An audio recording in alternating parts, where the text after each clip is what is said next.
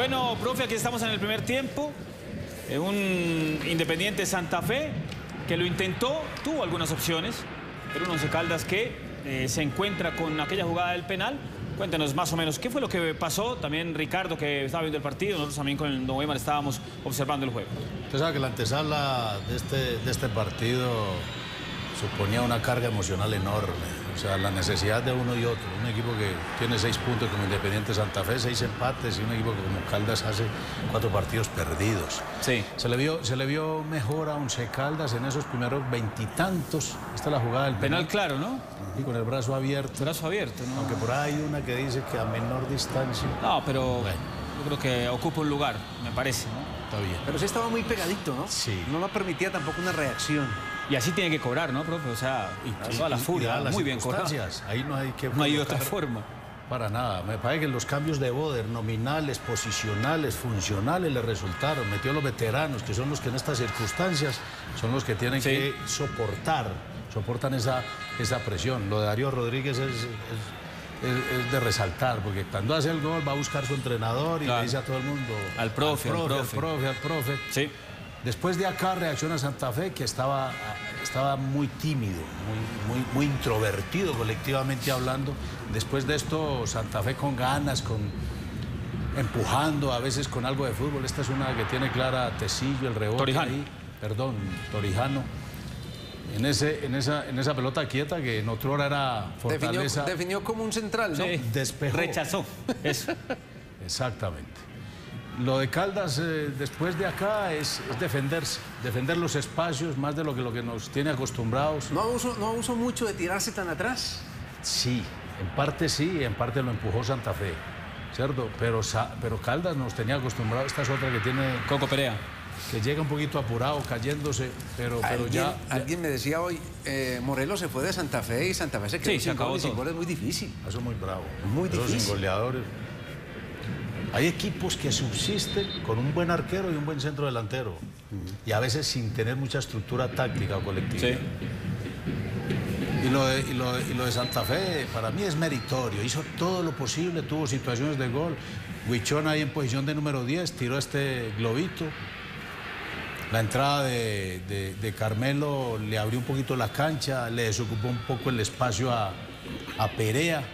El arquero también tiene un papel importante en un Caldas que, insisto, defendió en este partido, pero es justificable, defendió más los espacios en ese primer cuarto de cancha que la pelota, que es lo que nos tiene acostumbrado. Otra diagonal de Carmelo.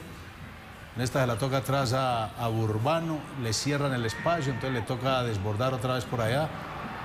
Le pega algo débil, el arquero bien posicionado. Juan, ahora que hablas de, de un buen arquero y de un buen centro delantero, estaba recordando aquel Medellín campeón de la mano de Bobadilla atrás y Jackson Martínez arriba. Jackson Ese es el clásico ejemplo. ¿no? Sí, el 1 y el 9, como nuestro programa aquí en Win Sports. Aquí otra de Brian Coco Perea. Esto ya son imágenes de él. Eh, segundo tiempo, Segundo ¿no? tiempo, sí. Ya había entrado Carmelo, aquí le cabecea a Perea sin, sin fuerza porque va retrocediendo. Santa Fe ya posicionado en la mitad de la cancha, exponiéndose, pero miren dónde está Once Caldas, todo metido atrás.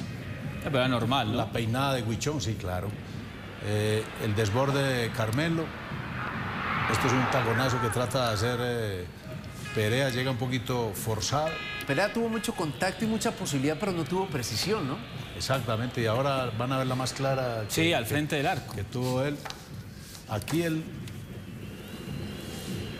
Once Caldas que trata de respirar un poquito con el balón en los pies. Esta es la jugada. La jugada del, del segundo gol del, del equipo de Manizales. Error de arquero, ¿no? Sí, pero ya es una reacción de, de, Once Caldas. En general, este es un equipo que estaba nervioso. Este es un arquero bueno.